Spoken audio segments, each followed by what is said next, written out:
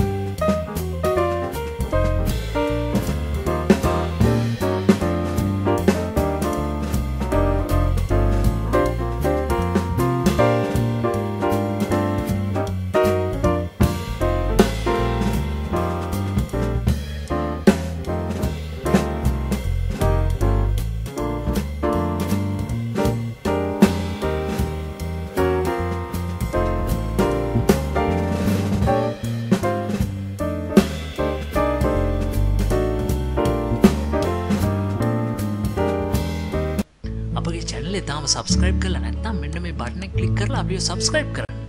ඒවගේ මෙන්න මේ බෙල් බට්න ඇක්ටව් කළොත් අපේ චැනලට එකතුන්න නවතම් වීඩියෝ ගැන ඔබට එසනින් දැනගැනීම හැකයාව ලැබෙනවා.